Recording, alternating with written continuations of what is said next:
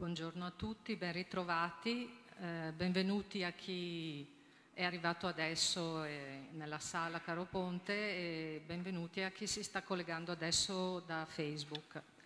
Eh, passiamo all'ultimo libro della mattinata, eh, La cura delle radici, corpo, bambini, futuro, della collana Filo Mimesis. Abbiamo l'autore, Ferruccio Cartacci, psicoterapeuta e psicomotricista, che dialogherà con Ivano Gamelli, pedagogista e docente dell'Università degli Studi di Milano Bicocca.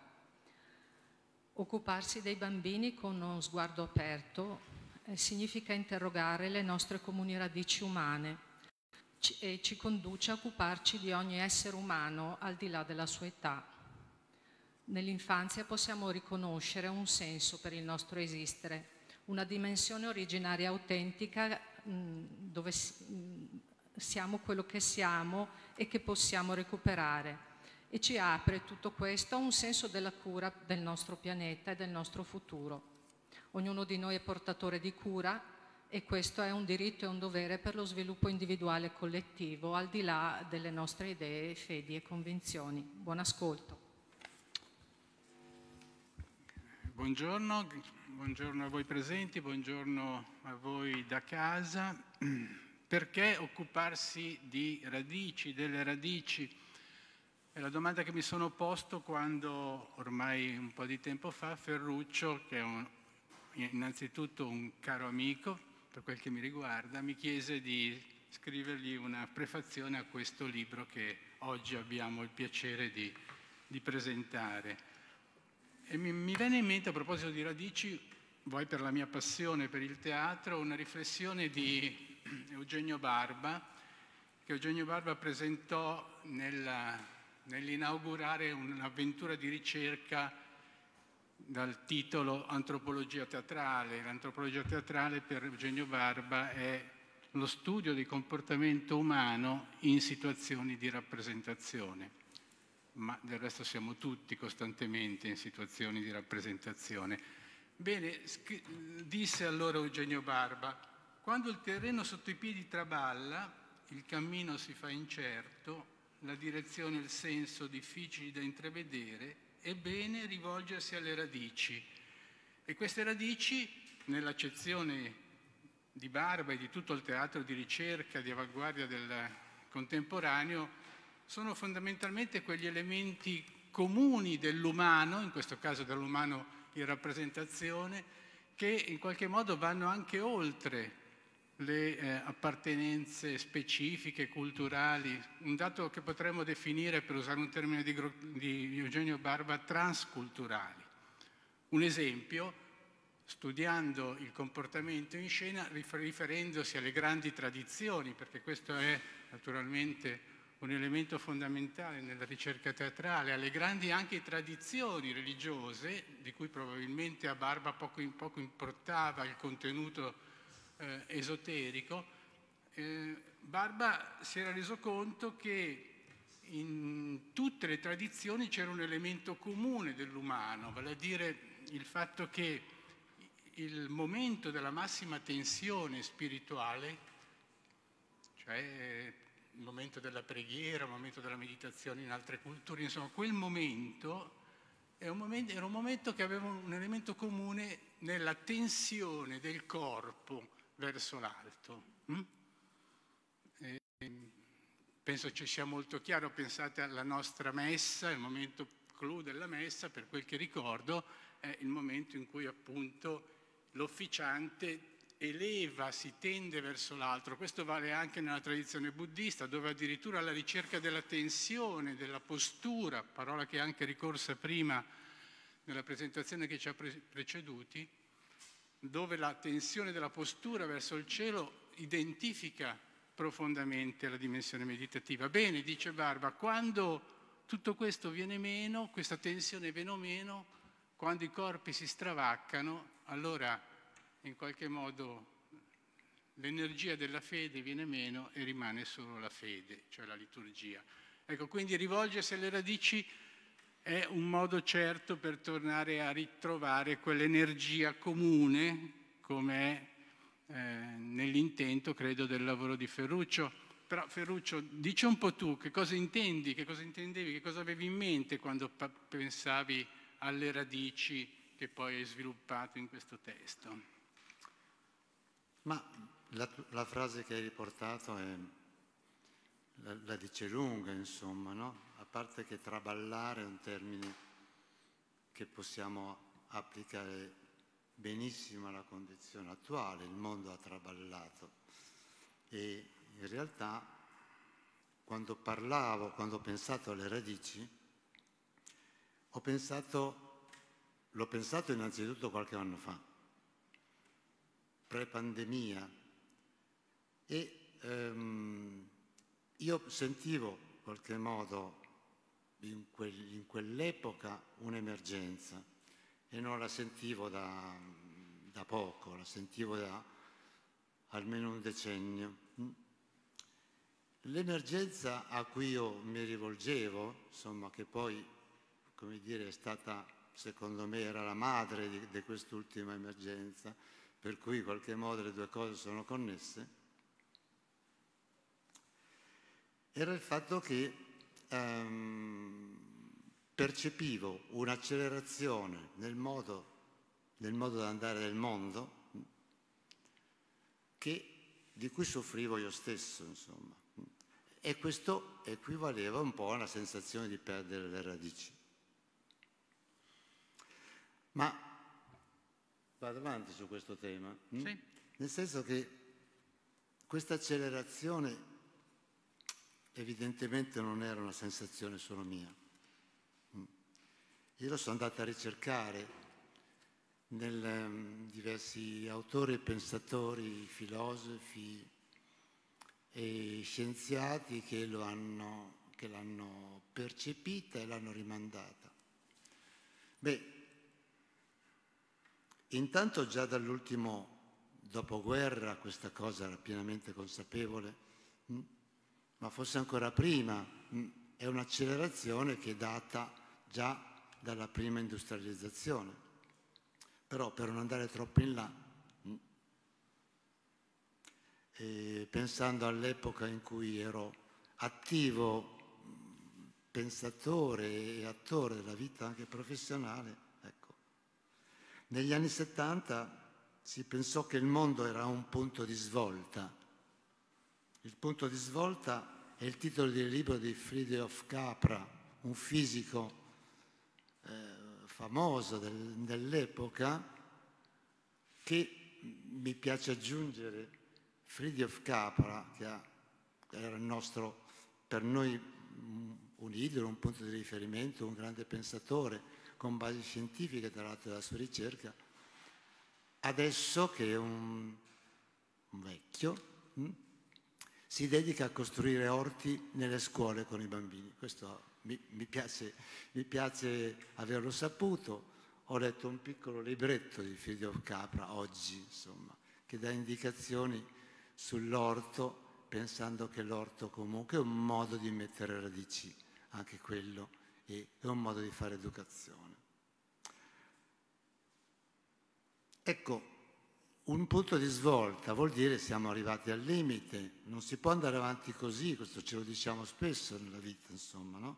Ma ogni evoluzione ha uno slancio e poi ha bisogno di un consolidamento per uno slancio successivo. Ecco, tutto questo non c'è stato.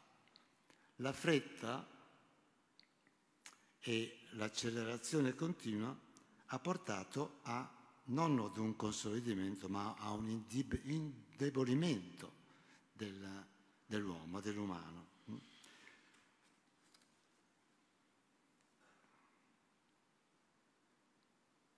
Alfin Toffler, scrittore, negli anni 70 diceva i mutamenti dilagano nei paesi ad alta industrializzazione con ondate sempre più veloci e dalla forza d'urto senza precedenti.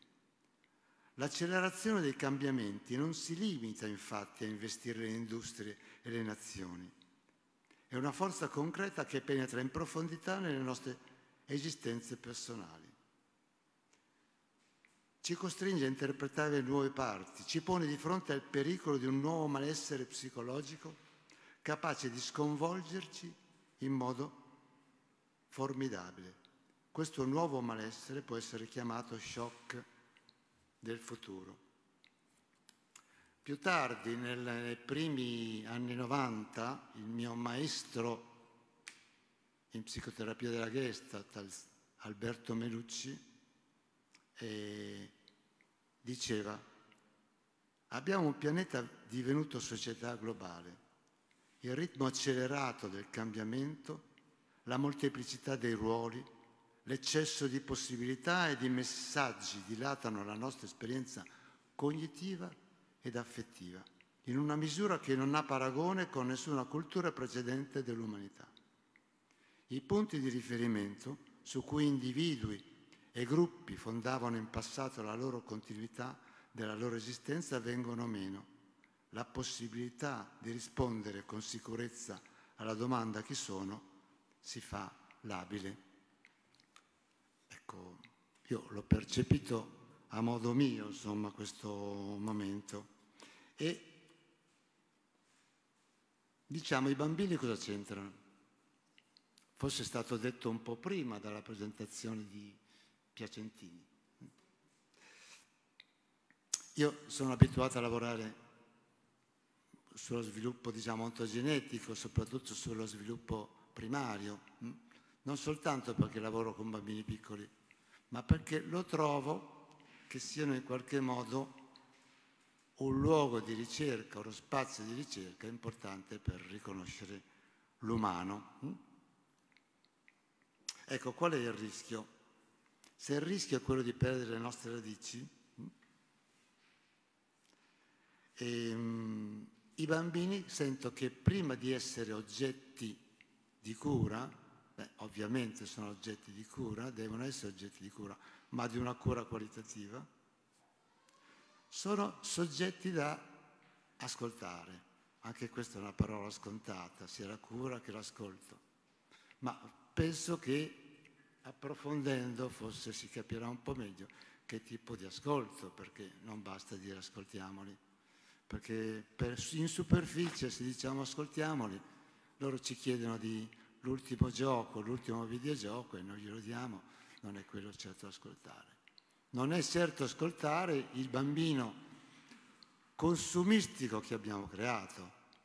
Se ascoltiamo quel bambino, ascoltiamo noi, la nostra cultura che ha prodotto questo.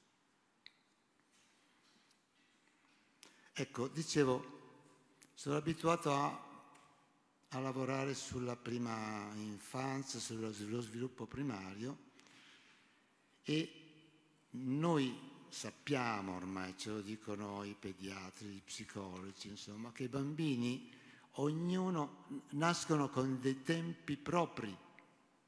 Ogni bambino nasce con dei tempi propri, ognuno ha il suo tempo. C'è un'accelerazione, poi c'è uno stare, un consolidare, un tornare indietro e così via. Mm?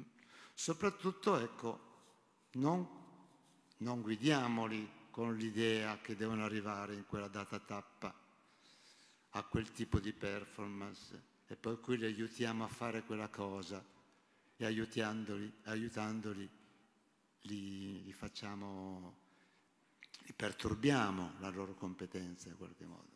Lo sappiamo che i bambini sanno comunicare perché la comunicazione è un bagaglio intrinseco, sanno camminare, sanno mettersi in piedi, sanno parlare perché è un bagaglio intrinseco. Naturalmente hanno bisogno di attivare tutto questo dentro lo scenario relazionale.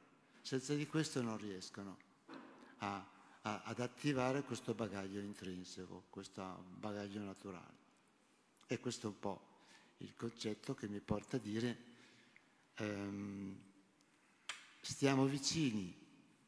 I bambini da una parte sono nostra, le nostre radici, ce le mostrano, ce le mostrano con chiarezza e noi stiamo vicini a loro per accompagnarli e non per anticiparli, non per dargli eccessivi consigli, non per insegnare loro esageratamente. Ecco, tutto questo diciamo che il, il mio libro cerca di approfondire. Per cui al di là delle eh, escursioni fuori dalla mia materia, del mio campo che ho fatto perché in qualche modo mi sono sentito, ho avuto il bisogno di aprire un po' lo sguardo. Io in precedenza ho scritto qualcosa su, sull'educazione, sulla terapia, mh? prevalentemente rivolta al campo infantile, anche se sono anche terapeuta degli adulti. Tra l'altro io non credo che ci sia una grande disparità, una cesura tra l'aiuto che si dà agli adulti e l'aiuto che si dà ai bambini. E questo spero che in qualche modo eh, di poterlo approfondire in futuro. Detto questo, ho fatto anche una riflessione sul tema dell'umanità.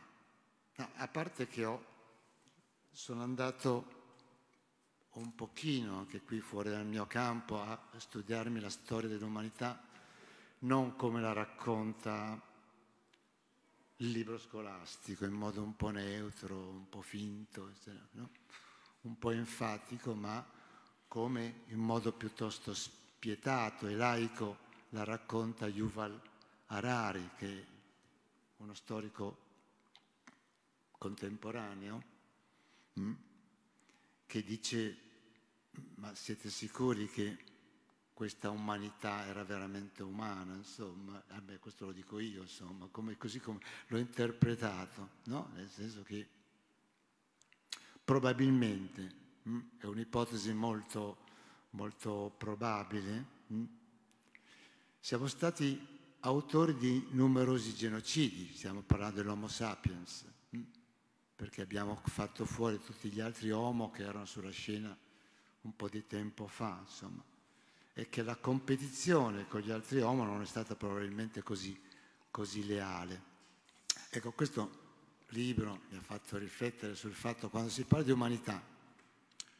Sì, io starei proprio sul tuo campo, come hai detto tu prima, nel senso che questo libro, come eh, già si è capito, è un libro che pensa in grande, ma che lavora anche, in, come giusto che sia, in piccolo, anche se i bambini non sono naturalmente il piccolo della nostra esperienza, per quanto siano sempre di meno. Io farei proprio tesoro del tuo campo, cioè ricordando innanzitutto che tu eh, eh, hai un'esperienza di diversi decenni di lavoro specifico con, con, i, con, i, bambini, anche con i bambini piccolissimi, con un approccio terapeutico che è un approccio assolutamente personale e particolare che ho avuto modo di apprezzare eh, e di valutare in tutta la, la, sua bellezza, un approccio chiaramente con bambini così piccoli che implica una messa in gioco corporea totale, è molto bello vedere lavorare Ferruccio con, con questi bambini, con queste bambine. Ecco, eh, in uno che credo sia uno dei paragrafi del, importanti del tuo libro, tu rifletti su un, uno slogan, un luogo comune che però vorrei richiamare perché penso possa anche dire, accendere l'interesse, perché no, il contributo da parte di chi ci sta ascoltando, non solo in forma di domanda, ma proprio in forma di, di, di riflessioni siamo tutti abbastanza analfabeti rispetto al tema, allo slogan che è poi quello i bambini non sono più quelli di una volta, no? Qualunque genitore, educatore, ma chiunque eh, viva nel mondo si sarà confrontato, no? I bambini non sono più quelli della volta, gli studenti non sono più quelli di una volta. Ecco. Ehm, ora tu hai attraversato anche delle generazioni a questo punto, no? Vista la tua felice età. Eh, eh, di bambini ne hai visti, mm, credo, di poter dire migliaia. Eh, possiamo avviare questa riflessione, provare ad affrontare questo, questo, questo luogo comune, provando a dire qualcosa di, insomma, che sia un po' più sensato della semplice nostalgia che chiaramente questo, questi tipi di slogan sempre eh, veicolano, a cui alludono. Sì, questo è il punto da, d'arrivo in qualche modo no? del, um, del, discorso, della, delle diverse premesse che ho attivato no? nel libro. Il punto d'arrivo è proprio questo. Chiaramente è uno slogan, hm? è uno slogan, uh, è anche uno stereotipo per, per certi versi, lo si dice di tante cose, non sono più quelle di una volta. C'era un poeta di strada milanese che diceva il futuro non è più quello di una volta, è bellissima questa frase. Mm? Ecco, perché i bambini non sono più quelli di una volta? Anzi, diciamo come, è sotto gli occhi di tutti. quello che è cambiato, a parte in positivo la grande competenza, la grande competenza digitale, mh? Mm, sorprendente, mh? Mm, che noi eh, troviamo nei bambini anche molto piccoli. Insomma, no? C'era una, una fotografia un po' di tempo fa dove c'era una bambina piccola di due anni e meno che guardava una rivista dove c'era un grande cellulare e lei faceva questo gesto. Mm?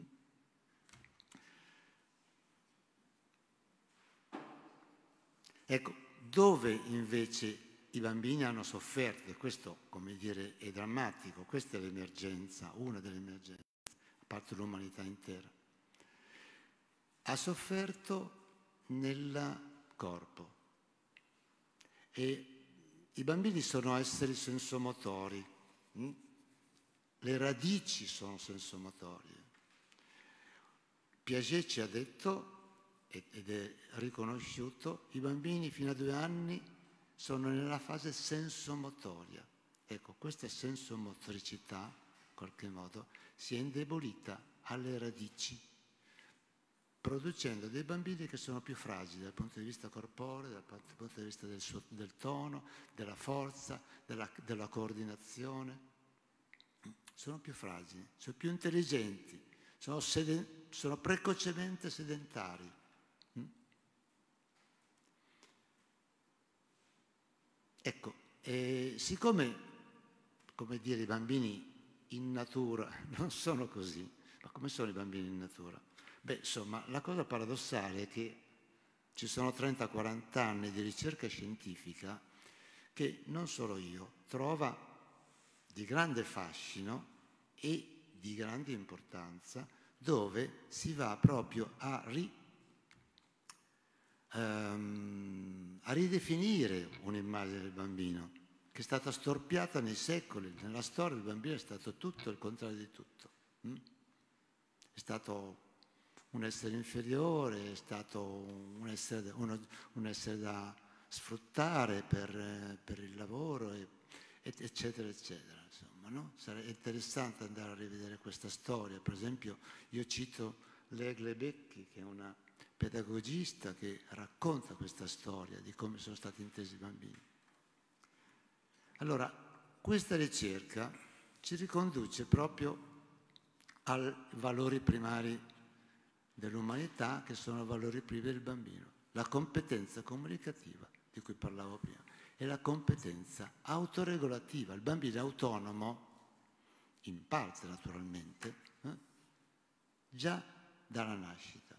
Studiando un po' anche la, la vita eh, prenatale, hm? che mi, mi, mi, affascina anche se non è la mia competenza, eh? si hanno albori di intenzionalità, si hanno albori di comunicazione, hm? si hanno prove di autoregolazione del, del, feto, del bambino prenatale, come qualcuno lo chiama, insomma, no? già nel, nella seconda parte della gravidanza. Insomma. Tutto questo è stra affascinante. Hm? Già sono delle indicazioni su come accompagnare la gravidanza, su come accompagnare la nascita. C'è un soggetto hm?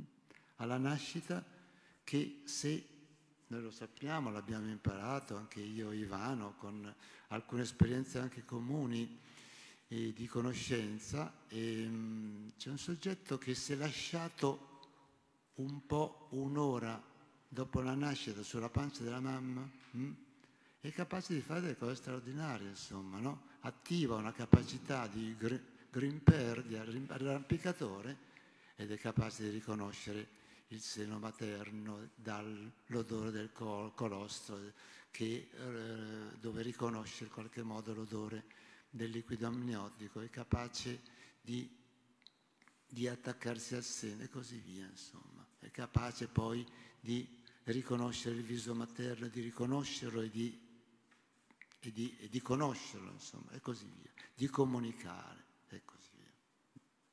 Ecco, tutta questa competenza non, non prevede, quindi va contro quella che era una, una teoria del passato, per esempio, dove si diceva c'è una fase, c'è una fase simbiotica, naturale del bambino, non c'è nulla di naturale. La simbiosi, per certi versi la fusione con l'altro, è un momento, è una fase, è un periodo, è un momento straordinario della vita di ogni uomo? Nell'affettività, nel sesso, lo è anche per il bambino quando è in contatto con la mamma, ma non è una fase, è una fase totalizzante. Lui è capace di fondersi come di essere capace di autoregolarsi. E questo è straordinario, sono scoperte scientifiche. Per cui dobbiamo fidarci, dobbiamo fidarci perché molti di noi, pedagogisti, ma anche semplicemente persone che lavorano con i bambini, sapevano già che c'era in loro una risorsa da sfruttare, che non si trattava di insegnare qualche cosa, ma di accompagnarli hm? e che si trattava di entrare in sintonia corporea con quella che era il loro linguaggio. Però adesso abbiamo anche dei sostegni scientifici che sono tutta la, l'infant research, ma non solo, insomma, tante ricerche affini. Posso provare a muovere qualche obiezione? che magari stimola, può stimolare anche il contributo di chi ci ascolta, perché mi sembra che oggi, almeno da un certo punto di vista, i bambini siano estremamente presenti all'attenzione del mondo adulto. Ripeto, probabilmente perché sono sempre di meno, sono pochi, per, però rispetto a, a quel che accadeva solo un, un secolo, due secoli fa, in cui il bambino non aveva neppure lo statuto, riconosciuto lo statuto di bambino, cioè di, di, di, un essere distinto con una propria identità ben differente da quella dell'adulto, oggi si è passati, qualcuno potrebbe obiettare, esattamente alla dimensione opposta. No? Riccardo Massa per esempio, spesso diceva i bambini, in forma di domanda, provocatoriamente ci invitava a riflettere, diceva ma i bambini devono stare sempre al centro del mondo? Ecco, mi sembra che a, a volte questa sia una sensazione percepibile. Sì, e questo appunto è, è, un momento, è uno spazio di riflessione del libro, perché con tutte queste competenze io non trovo nella realtà dei fatti, genericamente, insomma, nei genitori, nella scuola, nell'educazione, una conseguenza logica, un atteggiamento logico. Infatti i bambini non sono più quelli di una volta anche perché l'educazione, non solo i genitori, che poi dopo i genitori vuol dire alla fine la madre, perché la madre è quella che viene colpevolizzata di più. Insomma, siamo tutti noi perché siamo responsabili della nostra cultura. Questa cultura è iperprotettiva, iperprotettiva, lo sappiamo, ma non so quanti, quanta analisi segue a questa consapevolezza e quanta eh, esperienza concreta, quanta ridefinizione dei nostri ruoli educativi. La scuola stessa non ha fiducia io ho chiamato quel capitolo pedagogia della fiducia, perché so sia fiducia non vuol dire da mi fido di te, fiducia consolidata, c'è la scienza, c'è il fatto che io ti vedo che hai delle competenze, delle capacità. Non puoi fare tutto il tuo bambino, perché la storia non la conosci, il mondo non lo conosci, però sei capace di crescere, sei capace di comunicare, sei capace di vivere sei esperto della vita, qualcuno lo dice.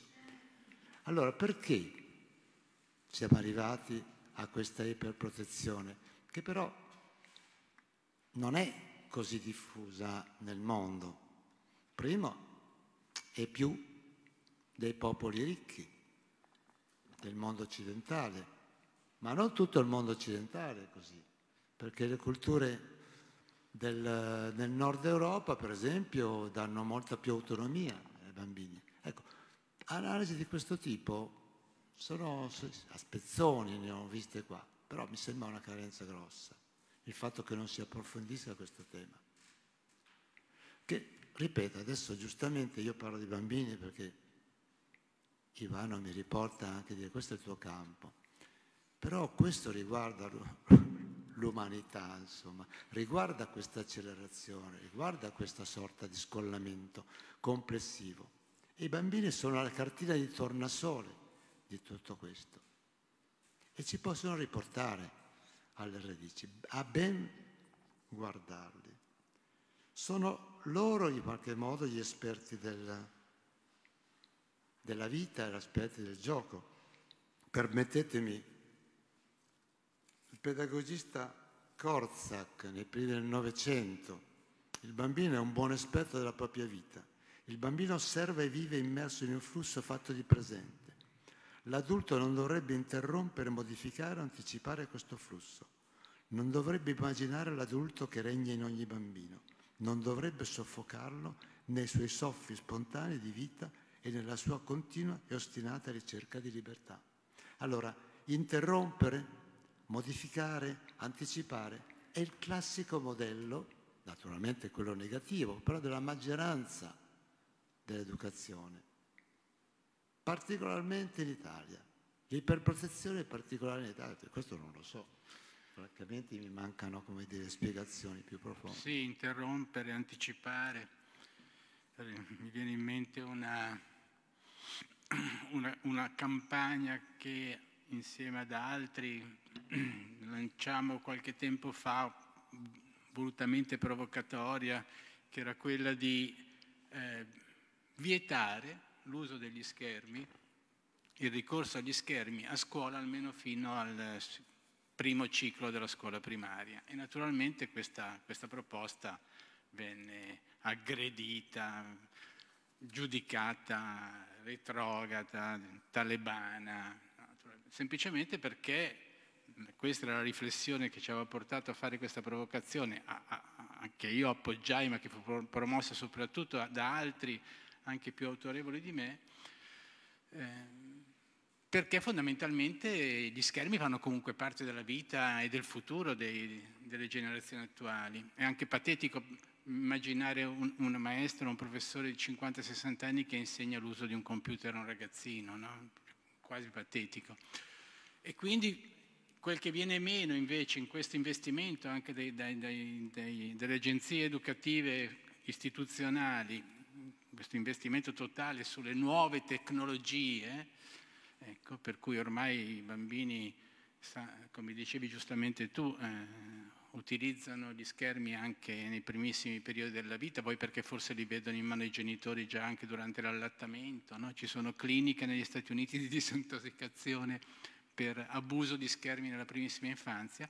E il problema è che se il tempo è quello, per cui se noi investiamo totalmente in questa direzione, che è comunque una direzione che, che verrà appunto che non è necessario anticipare, eh, bene meno tutta una serie di possibilità che sono diritti dei bambini di usare il proprio corpo, di usare le mani, probabilmente invece che un computer su ogni banco sarebbe meglio che ci fossero più alberi nella scuola, che si potesse maneggiare l'argilla, che si potessero usare i colori, che si potesse fare dell'arte in senso pieno. Ecco, tutto questo però è uno dei segni, appunto, io credo, di, quella, di ciò che tu denunci, articoli molto bene nel libro, come questa grossa patologia che è proprio il desiderio di anticipare, no?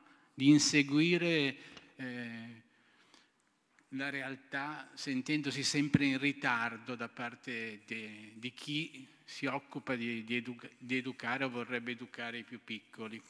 Sì, l'analisi è complessa, no?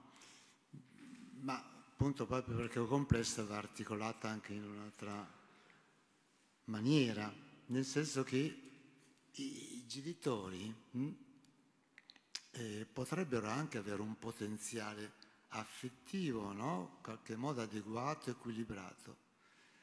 Però eh, dei genitori si dice non sono più il filtro, non sono più contenitori ma questo non è solo colpa loro. Se c'è attorno no, una massa di, di stimoli, c'è un mercato, c'è una produzione, c'è un senso della vita no? dilagante, insomma, no? e che preme alle porte della casa, del portone di casa, della famiglia. È chiaro che i genitori non riescono più a, a dare quel contenimento mh, che quel filtro che c'era una volta. E, e questa è un'altra dimensione per cui in qualche modo non possiamo scollare il discorso pedagogico dal discorso sociale, socio-economico e così via. Insomma. E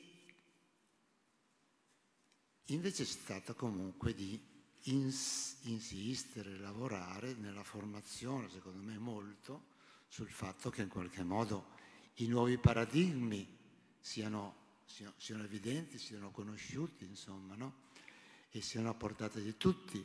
E c'è un, come dire, ultimamente, io sono, ufficialmente sono più psicologo, psicoterapeuta che psicomotricista, però la psicomotricità ha un po' invaso la mia vita ed è un ambito che prediligo, insomma, no? perché in qualche modo mi tiene più vicino alla globalità, all'integrazione corpo-mente.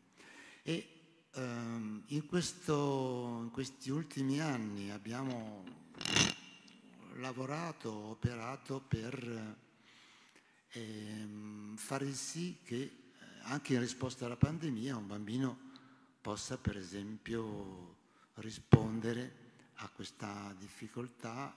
una volta si diceva, insomma, anziché stare in casa sarebbe, mol, sarebbe molto meglio stare fuori, insomma. Poi si è scoperto sì che era vero, però siamo stati costretti a stare dentro e non nei prati, nei parchi cittadini. Allora, c'è stato un momento in cui abbiamo fatto un convegno con Francesco Tonucci, mi piace parlare di questa persona, perché lui ha 80 anni, ma sono almeno 40-50 che si occupa di autonomia dei bambini. Francesco Tonucci, che ho piacere di dire che è anche un mio concittadino di Fano, nelle Marche, e Mm, ha fatto tante esperienze, prima in Italia, poi nel mondo, adesso è conosciutissimo in Sud America, campagne in cui, che, parti, che partivano da cose molto semplici, sono queste le cose da fare, moltiplicarle all'infinito. Come, come, come fare in modo che i bambini andassero a scuola da soli? Praticamente si prende un quartiere, una scuola, si formano gli insegnanti, si formano i genitori, si formano, si scambia con i genitori, si formano i negozianti della zona, si formano i vigili della zona, mm?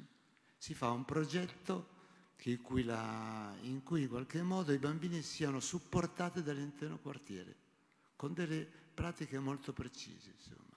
E allora i bambini, non a tre anni, ma da 6-7 anni possono andare a scuola da soli, come fanno in tutto il terzo mondo, perché poi c'è questo tema del terzo mondo in cui tutto questo non avviene, questo decadimento dell'autonomia dei bambini no, non c'è, tutt'altro, i bambini sono più forti. E allora eh, adesso c'è un, un elemento conclusivo di questa esperienza che non posso sviluppare, che come dire, macroscopico a Buenos Aires, in un quartiere di Buenos Aires, dove è stata estesa questa pratica qua per un decennio. La microcriminalità di quel quartiere è diminuita, adesso non so esattamente, di tanto. Ecco, per cui certo. come, si, come si, si, connette tutto, insomma, no? Tra pratica pedagogica e socialità? Beh, restituire i quartieri ai bambini attraverso il riconoscimento della scuola come presidio che non, non confinato, non altro, attraverso dei, dei, gesti, dei segni semplici, la mattina chiudere quella strada alle auto, ma poi sono i genitori che per primi arrivano con l'auto se potessero anche all'ingresso solamente perché cadono due gocce d'acqua e chissà mai che rovini la testolina della loro creatura. Questa, eh, il problema è proprio quello, no? quello di, di, scommettere di più, come del resto mi sembra che, che stia emergendo con sempre più, più forza dal... L'abbiamo, l'abbiamo, ascoltato in questi giorni nei vari eh, meeting sul, sull'ambiente dei grandi e dei potenti della terra, dall'altro lato i giovani, le giovani che naturalmente mettono a nudo le difficoltà de, del cambiamento da parte di chi, di chi, ha potere, di chi comanda, della logica economica, lo mettono a nudo anche segnalando un, ormai degli stili, invitando a degli stili di vita mm, che sono completamente in controtendenza rispetto a, a, quelle, a, quelli nei quali noi siamo cresciuti, no? leggevo per esempio che naturalmente bisogna muoversi in bicicletta, usare il meno possibile l'automobile, non, parli, non, se, non si parli di prendere troppi aerei, anzi gli aerei bisognerebbe che stessero un pochino più, più, più a terra e, e, via dicendo, lo stile, lo stile relazionale, gli stili di vita che, che, diventano più essenziali e che mettono al centro appunto il tema, i temi che, che tu credo segnali nella tua piccola grande esperienza e che non a caso connettono la dimensione del corpo con la dimensione della, della natura, con la dimensione del gioco, intesa come un modo di, di stare al mondo eh, segnato da, dalle emozioni, dalla ludicità. Però magari c'è qualcuno, non so se da casa ci sono delle richieste di parola, di domande o anche tre presenti, visto che... Mentre si prepara la domanda faccio l'ultimo Prego. piccolo lancio, l'ultimo passaggio. E se fosse la scuola il luogo dove questo movimento di recupero delle radici, di riequilibrio, di armonizzazione mm, fosse il, il perno, ma non il luogo chiuso, il perno, adesso si parla di scuola legata al territorio, insomma, tutto questo, su questo si sta lavorando, stiamo lavorando un pochino anch'io. Allora, sentite come parla, vediamo se la scuola è adeguata a questo compito. Sentite come parla questa volta un, un nostro italiano pedagogista famoso, Canevaro. Dice la scuola è assurda se, primo, ignora che la maggior parte delle conoscenze è già stata fatta dal bambino. Quello che dicevo io. Eh, lui costruisce autonomamente un percorso che poi viene smantellato. Quindi è assurda. Già, per questo motivo già la scuola è assurda. Secondo, crede di poter preordinare un programma di conoscenza senza informarsi di quale scoperte il bambino singolo si è già impadronito, cioè quali scoperte ha incorporato, senza tener conto di quello che ha fatto fino a quel momento lì. Quindi è assurda due volte. La scrittura, la lettura possono diventare un meccanismo appiccicato che il bambino sopporta passivamente o di fronte a cui reagisce scompostamente quanto giustamente. È una scuola che accoglie il bambino per la previsione di farne un lettore scrittore e non altro, non lo accoglie con la sua memoria, la sua esperienza corporea, non lo accoglie come corpo, cioè non lo accoglie come persona completa. Se ci sono interventi, esperienze, ben, ben vengano.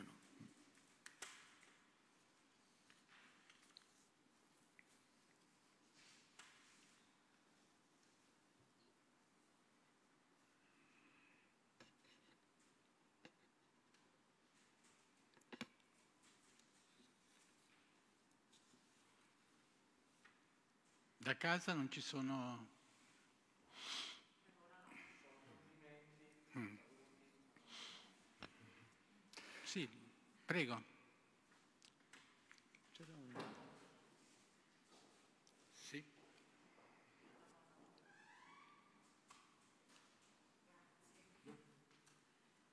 Stai qua sulla...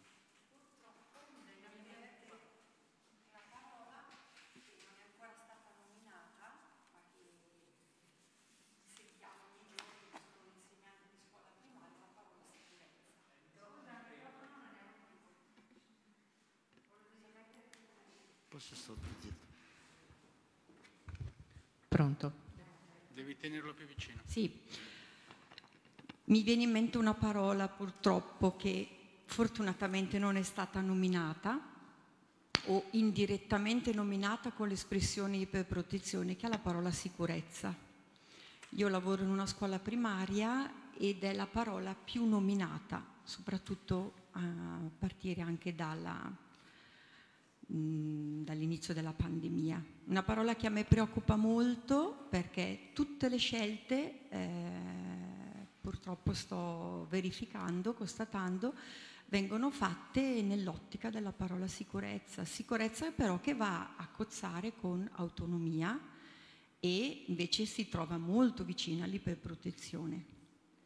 E teoricamente noi non potremmo lasciare mai da soli i bambini, ma mai dovremmo sempre averli a vista, Per me questo è una, un grosso problema e sto facendo molta fatica in questo senso. Mi prendo delle libertà, ma è come se trasgredissi delle regole. E mi piacerebbe che si, si, ci si confrontasse su questo. Grazie. Grazie a te. Sì, è centrale questa cosa. È centrale proprio legata alla iperprotezione. Nel senso che tutto il sistema porta, io in altri momenti, in altre riflessioni ho, ho trovato questa espressione, alla messa in sicurezza dei bambini, che non è riconoscere la loro sicurezza, promuoverla e così via, insomma, no? Cioè dare sicurezza ai bambini metterli in sicurezza come se fosse un'assicurazione, insomma, no? eh, oppure una cassetta di sicurezza come quelle che si mettono in banca. È chiaro che dentro una cassetta di sicurezza il bambino è, dire, non viene riconosciuto, no? Eh, svili, le, le, le, sue risorse sviliscono, insomma. Mm?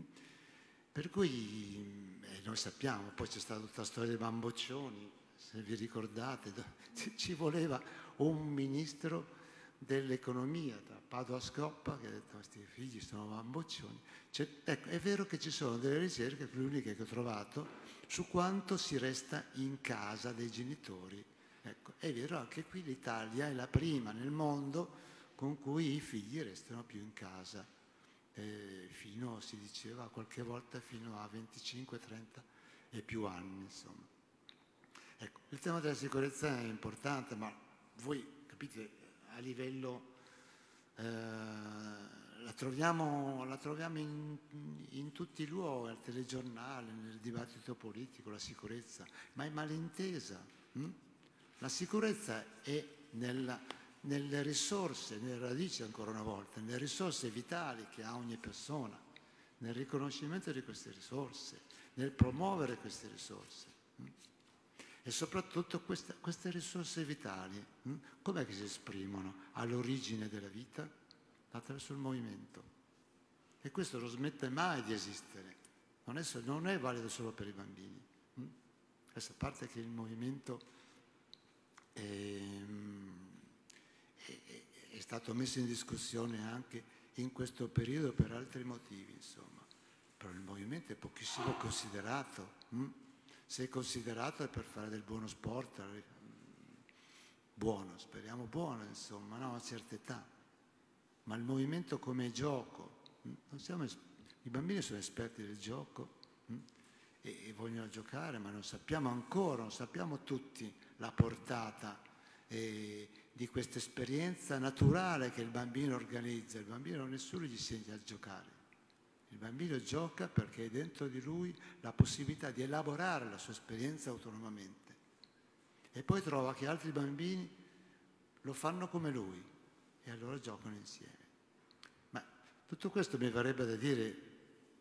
Ehm, sì, io vorrei, vorrei chiederti... No, volevo solo dire questo, Ivano, nel senso che tu non l'hai, non l'hai nominato, ma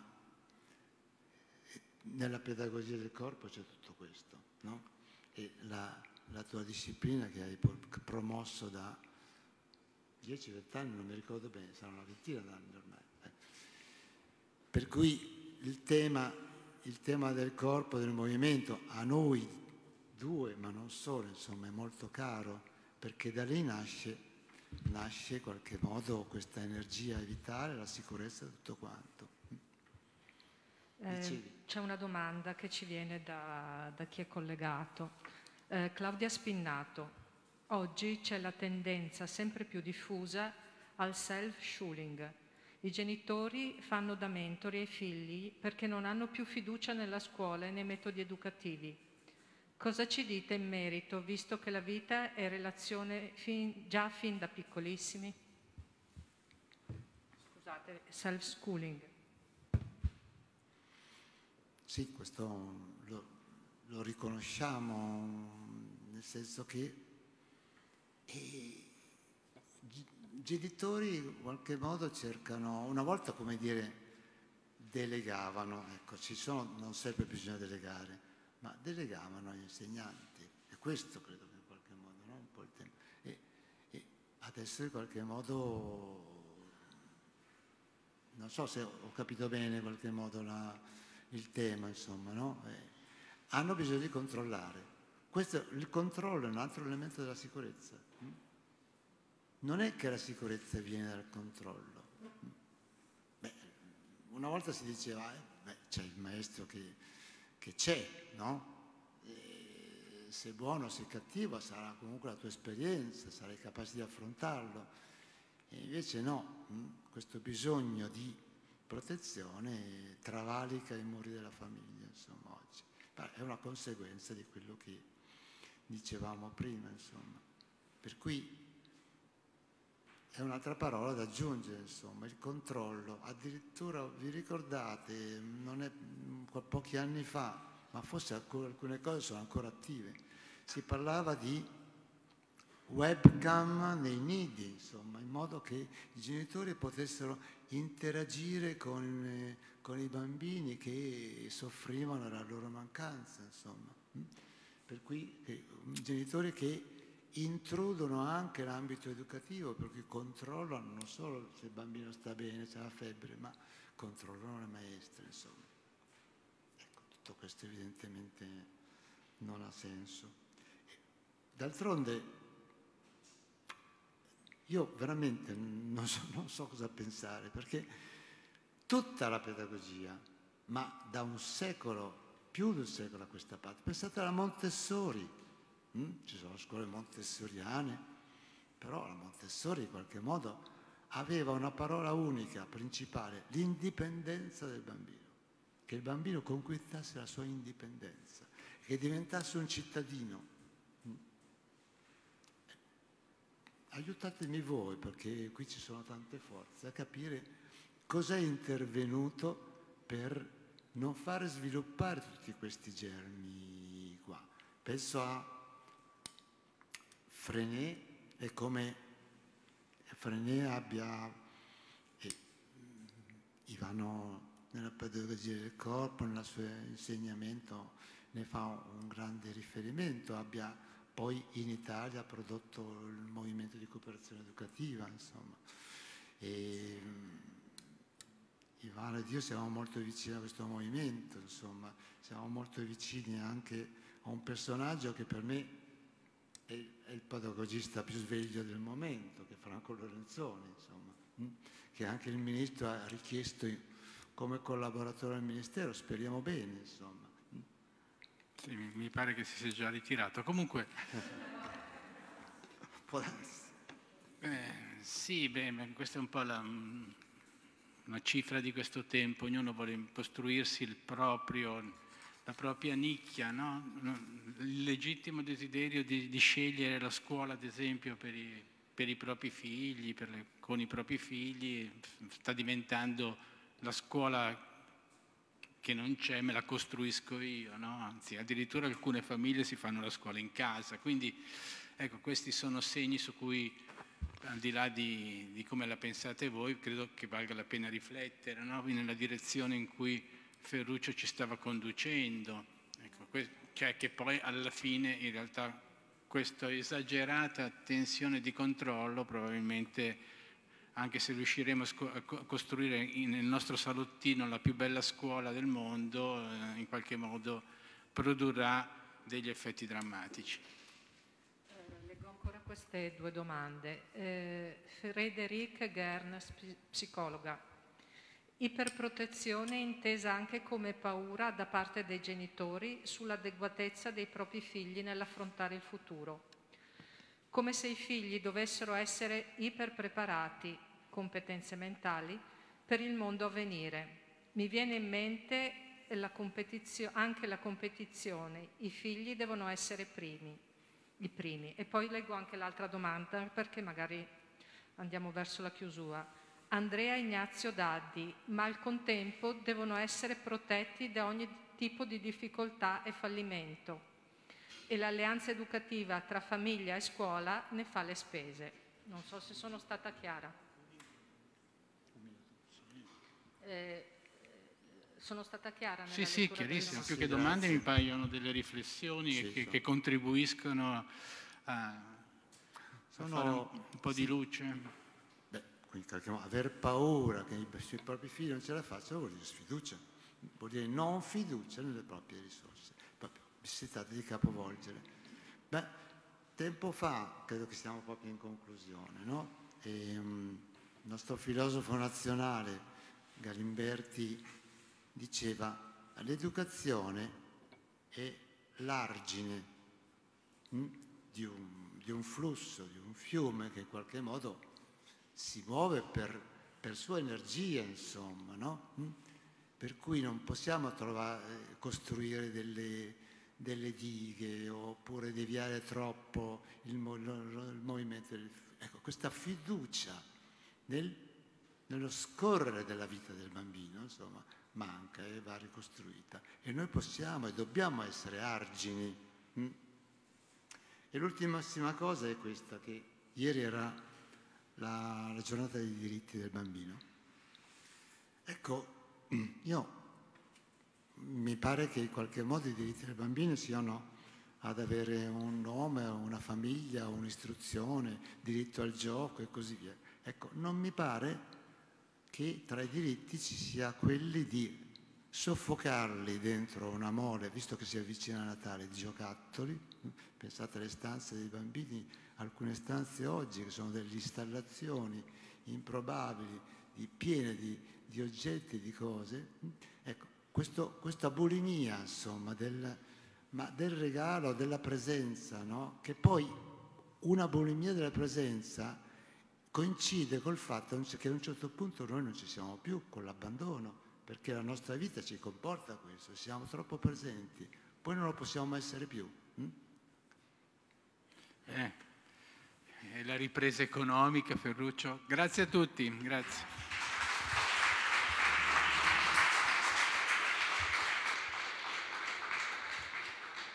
Grazie a Ferruccio Cartacea e Ivano Gamelli. Eh, riprendiamo alle 15 con la conferenza Dioniso odia chi non si lascia vivere con Alessandra Filannino e Delicato e Sara Bergomi. A più tardi.